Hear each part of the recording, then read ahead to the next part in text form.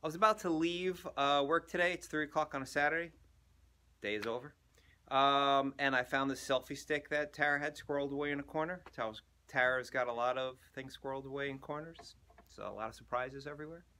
So uh, I was wanting to do Facebook Live for a business page. I wasn't sure how it worked. But my business page is hooked up to my personal page. I can only go live on my personal page, so I couldn't figure that out. I can hardly figure this selfie stick out but uh, I wanted to give you a virtual tour of the amount of lamp repair I have, and I'm just one person doing all of this. Uh, customers come in and they're always marveling at the unique pieces I have, so I figure, you know, I'll, uh, I'll let you see it as well. So let me see if I can flip this and we'll go on a tour.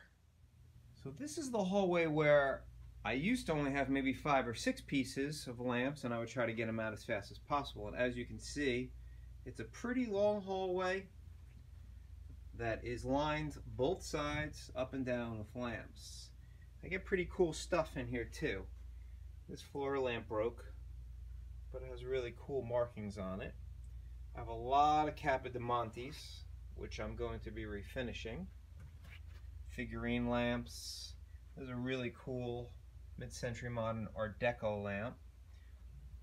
a lot of this stuff has stories that they belong to a grandparent, a parent.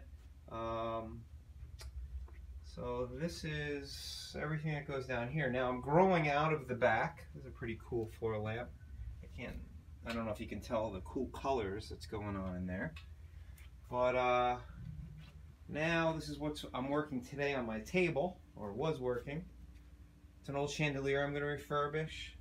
This has pretty cool markings. Um, old chandelier I'm going to work on, more stuff I'm working on, and then we're going to come back out front here.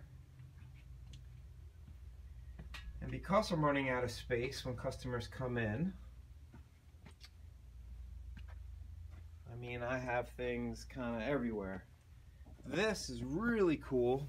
These are two lamps that I just refinished. This has a marking. It's 1915. It's actually an old telephone that was made into a lamp. Uh, it has the black piece there that I have to uh, screw in. I'll show you that in a few days when I'm done. There's an old wagon wheel that was made into a light. Some really cool older pieces. I mean, how cool are these pieces? Um, this is an old one that I just redid for a customer I powder coated it in white. She wanted to do more of an Art Deco feel. I'm gonna do it on that one too. This, not my thing, but everyone seems to really love this. I have to um, fix that. This cool thing, it's all iridescent.